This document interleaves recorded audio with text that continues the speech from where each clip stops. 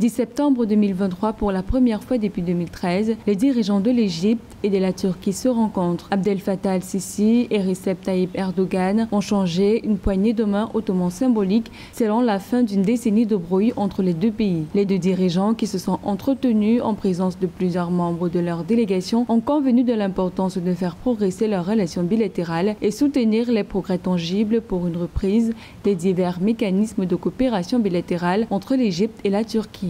L'enjeu de la réconciliation entre la Turquie et l'Égypte se situe au niveau que d'un côté, nous avons la Turquie, une puissance montante euh, dans l'échiquier international sur le plan diplomatique, économique, militaire, voire même technologique. De l'autre, nous avons l'Égypte, une des plus grandes puissances africaines et la plus grande puissance du monde arabe. Les deux pays sont méditerranéens. Alors, le premier enjeu, c'est sur le plan écologique.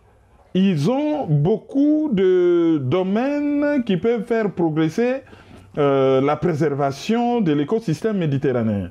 C'est en juillet 2013, à l'arrivée au pouvoir du général Abdel Fattah al-Sisi, que les relations entre l'Égypte et la Turquie se sont rompues. Ceci en raison notamment du renversement de l'ex-président égyptien Mohamed Morsi, issu des frères musulmans et grand allié de la Turquie. Depuis 2021, des tentatives de rapprochement diplomatique ont été initiées par la Turquie afin d'enterrer la hache de guerre. Et la Turquie a annoncé en mars 2023 le rétablissement de ses premiers contacts diplomatiques avec le Caire depuis une décennie. La Turquie est très engagée dans les conflits libyens la Libye qui se trouve être le voisin de l'Égypte, qui de facto est aussi engagé dans ce conflit.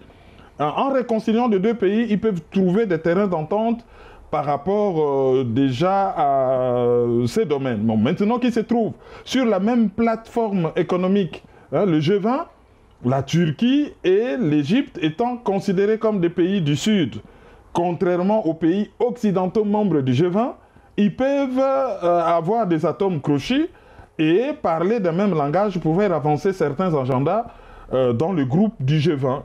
Les deux chefs d'État qui se sont rencontrés en marge du sommet G20 en Inde ont également échangé leurs points de vue sur les questions régionales et ont exprimé leur volonté de renforcer la coopération régionale en tant qu'approche stratégique dans un cadre de respect mutuel, d'intérêts communs et d'intentions sincères, afin de contribuer à sauvegarder la sécurité et la stabilité dans la région de la Méditerranée orientale.